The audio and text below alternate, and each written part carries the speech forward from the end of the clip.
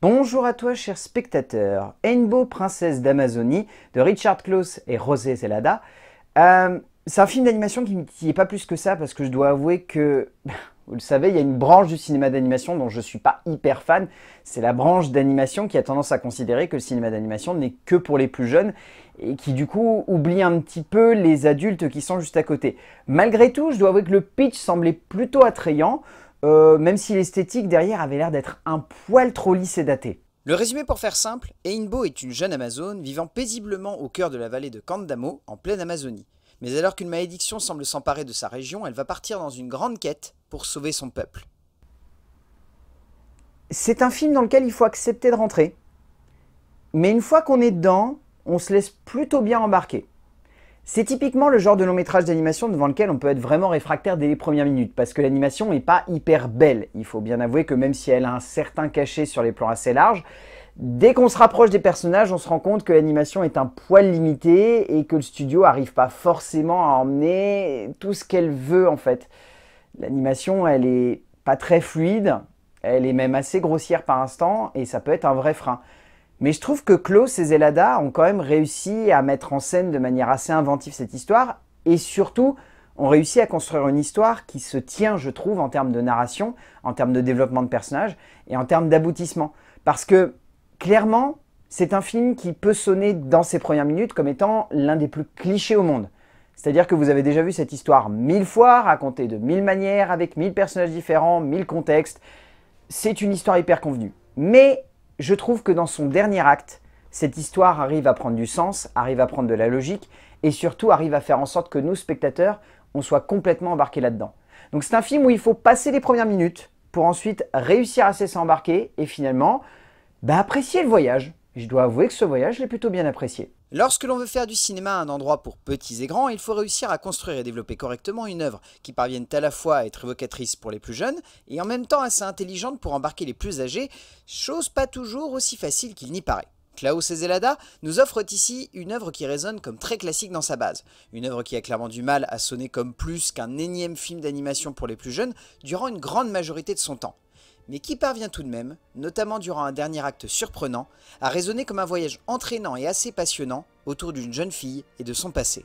En termes d'écriture, donc à la base, le film est inspiré d'une idée de Rosé Zelada qui a ensuite été écrite par les frères Cleveland, Brian et Jason, ensuite aidée par Larry Wilson et Richard Close. C'est souvent le cas, si vous êtes habitué de la chaîne, vous savez que dans les films d'animation, il y a beaucoup d'auteurs généralement qui se succèdent à l'écriture d'un scénario de ce type. Euh, on sent que dans les premières minutes, le but premier est avant tout de poser un contexte qui fasse en sorte que le spectateur accroche au personnage. Je dis pas que ça fonctionne à 200%, je trouve qu'Enbo, il faut au moins une bonne demi-heure de film pour réussir à vraiment l'apprécier et accepter son voyage. Parce que dans les premières minutes, elle sonne un petit peu comme un gag ambulant et je trouve pas que ça soit forcément bien fait. Euh, l'autre point que je trouve assez noir, c'est que je trouve que le film regorge de petits détails en termes d'écriture. Il y a des personnages secondaires qui sont hyper attrayants, il y a des développements de protagonistes qui sont plus ou moins subtils, mais le problème c'est qu'il n'y a pas assez de contexte qui amène à tout ça, et tous les personnages sont un petit peu jetés à la va-vite parce qu'on est sur un film d'animation pour enfants, et donc il faut que tout aille très très vite. Je trouve ça un petit peu dommage parce qu'on sent qu'il y a beaucoup de protagonistes secondaires qui pourraient avoir un meilleur équilibre dramatique par rapport à tout ce qui se passe à l'écran et du coup aurait pu avoir un petit peu plus de place face à face aux différentes mains qui ont écrit ce scénario parce que clairement on sent qu'il y a des choix qui ont été faits et par moments je dois avouer qu'ils sont un peu radicaux et je trouve ça un petit peu dommage parce qu'on perd en contexte, on perd en puissance dramatique parce que c'est important de le dire mais le dernier acte est hyper bien foutu. Je trouve les révélations finales et l'acheminement qui conduit à ce climax de fin extrêmement génial. Parce que vraiment, c'est créatif. Et au-delà d'être créatif, ça réussit à faire en sorte de donner une justification à tout ce qui s'est passé avant et à pourquoi finalement on avait peu de détails sur ces éléments-là. Et c'est dans cette optique-là que je trouve que le scénario arrive à être prenant et surprenant. Mais il faut passer quasi 45 euh, minutes de film où euh, on peut se dire que clairement c'est hyper convenu. Les frères Cleveland, aidés de Wilson et Klaus, cherchent le plus possible à jouer avec le personnage d'Enbo, cherchant avant tout à emporter juste ce qu'il faut d'émotion et d'immersion pour pousser cette protagoniste dans un retranchement affectif jouant beaucoup avec sa place au sein du récit. On pourra toujours assez facilement pointer du doigt le fait que durant une bonne majorité de son temps, ce scénario est tout de même un poil trop cliché, notamment dans certains personnages secondaires, et aussi dans l'évolution de l'héroïne.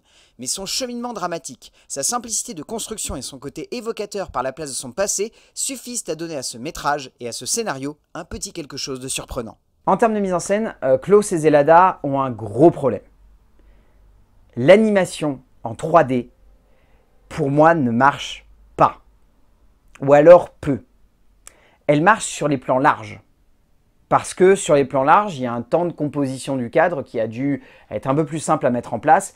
Et donc on sent que les animateurs 3D ont un petit peu mieux réussi à gérer tout ce qui devait prendre place au sein du cadre. Mais à côté, c'est pas très beau. Et au-delà de pas être très beau, c'est pas toujours réussi. Et pour moi, c'est un gros frein au film. Parce que, comme je vous l'ai dit, il y a des petits trucs d'écriture sur lesquels on peut revenir, mais derrière, c'est compensé par d'autres traits qui réussissent à compenser ça. L'animation, elle, de son côté, heureusement que c'est deux metteurs en scène qui ont envie de jouer justement avec la caméra et avec son positionnement, et qui, par le biais de ça, arrivent à faire en sorte que nous, spectateurs, soyons pris dans cette histoire. Parce que si on se limitait purement et simplement au graphisme et à la 3D, le film est presque acheté à la poubelle. Parce que réellement, il y a des moments où c'est pas beau, où il y a même des textures qui bavent et où il y a carrément des couleurs qui sont toutes pixelisées. Ce que j'ai trouvé assez sidérant et où j'étais en train de me dire, mais attends, tu, tu peux pas laisser passer ça quand tu arrives au rendu final. C'est un petit peu triste quand même. Et franchement, il y a des scènes où euh, bah, le rouge, il bave le rouge d'un des personnages bave complètement à l'écran.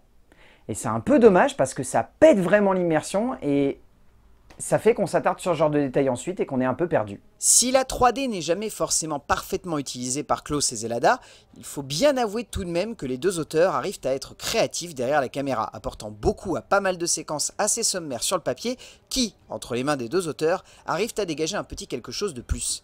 Ce n'est pas pour autant que l'on n'a pas l'impression que le film a la fâcheuse tendance d'un peu trop se suffire à lui-même, en apportant pas grand chose de plus à un effet parfois un peu trop lisse et trop convenu dans le jeu de la profondeur du cadre et de l'animation. Mais il reste tout de même quelques séquences assez intenses pour nous tenir en haleine derrière. Au niveau du doublage, euh, je trouve que la grande majorité des doubleurs français qui sont au sein de ce film s'en sortent pas trop mal. On sent que c'est pas forcément des doubleurs qui ont tous une pleine maîtrise de leur personnage. Par instant, il y en a certains que je trouve un petit peu perdus. Euh, mais je dois avouer que surtout mon gros point noir, c'est le fait d'avoir choisi un Star Talent qui n'a pas forcément grand chose à voir avec l'univers du film. Et au-delà de ça, qui est un peu trop âgé en fait pour interpréter le personnage d'Enbo. On va pas se voiler la face. Audrey Lamy n'est pas forcément le meilleur choix vocal pour interpréter la jeune héroïne, l'actrice étant peut-être un poil trop vieille pour réussir à retranscrire son innocence, mais elle cherche tout de même à s'en sortir au mieux, ce qui fait que ça passe. Au bout du compte, Enbo, princesse d'Amazonie, est un film d'animation qui pêche vraiment par son animation.